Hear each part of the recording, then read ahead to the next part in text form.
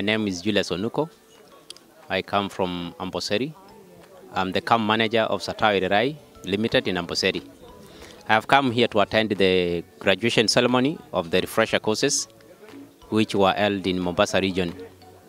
Uh, I have sent this year. We have sent seven people from our camp for refresher courses, and this is a very important course, which actually equips our our staff for better service.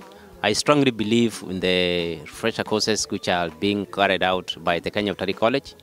Being a product of Kenya Utalii College, I strongly believe in their standard and service which they offer. So that's why we send our uh, staff to come and uh, get the training so that they can better their services, so they they can offer good services to our clients who are uh, international clients and they expect the standard or, or good, good service and good standard.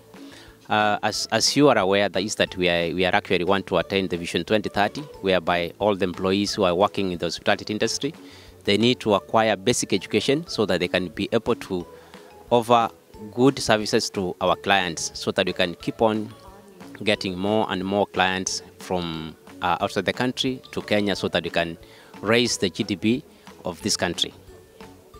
Thank you.